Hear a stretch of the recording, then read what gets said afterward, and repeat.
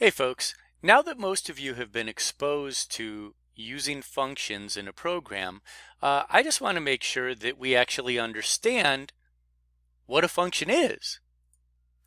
So let's start off with that. What is a function? A function is just one or more lines of code that can be reused. And here we can see uh, the definition of a function over here, and here we can see a function call.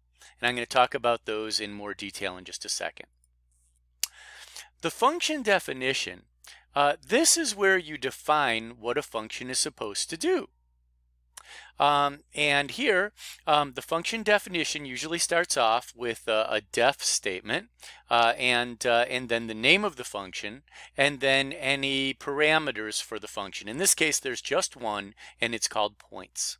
And then what we do is we write all the lines of code that are part of that function definition.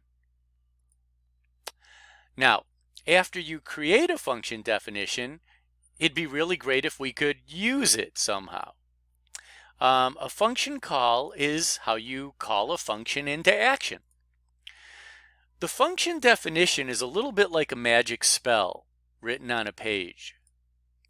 The function call is what happens when you say the magic spell out loud. So in this case, we can see here's the function call, draw flower. After we've defined what draw flower will do, we must call it and give uh, and give an uh, an argument and then uh, and then the function will run and uh, and it will pass this argument into the function. Now, uh, the obviously to understand functions, you have to understand a lot of vocabulary. We've already mentioned function definition, function call, and uh, now we're going to talk about parameters. Um, so whenever when you create the function definition and you write the, the name, after the name in parentheses are several things called parameters.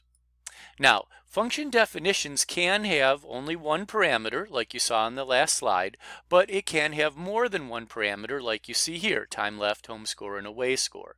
Those are parameters. Parameters provide a way to pass information into a function. And parameters are what make a function customizable. See, a function allows you to reuse the same lines of code over and over again. But without parameters, they would always do the same exact thing. With parameters, a function can be customized. Now, let's see how we use parameters in the function definition.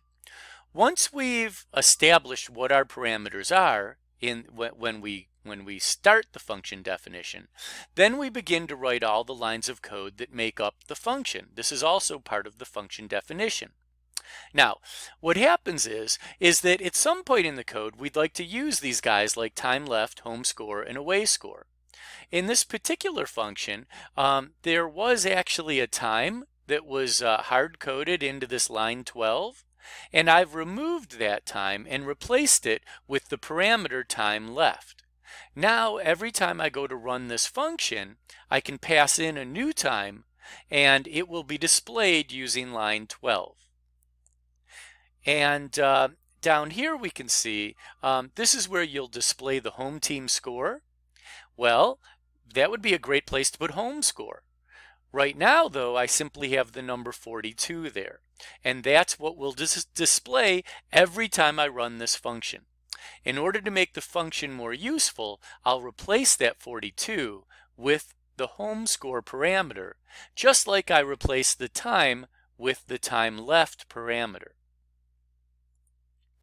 Now, the next definition or vocabulary word that we need to know regarding functions is arguments. Arguments are what you have when you have a function call.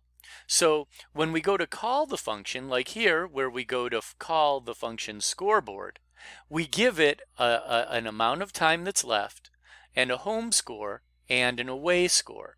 And when we pass those pieces of information to the function, as long as the function is set up to receive those pieces of information, um, then those those pieces of info those values, let me see here, Uh, arguments are values that are passed into a function through its parameters. So these values will be passed into the function um, through the function definition parameters. Okay. Um, I believe that is most of what I wanted to talk about, but I, there is one last thing that I want to say. It's kind of important. This last piece of information that I want to share is very important in making sure that your functions run correctly. Um, and uh, it says it all here. Lines of code in a function definition must be indented using the tab key.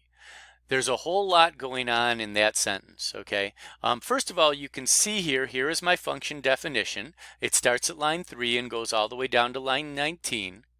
And, and the definition always starts with def, and then the name of the function, and then the parameters, and then a colon it, for Python, um, which is our programming language. Um, but all of the lines of code that we want to include in the function definition must be indented from where the def starts, okay? Now, when you go to indent, you must use the tab key.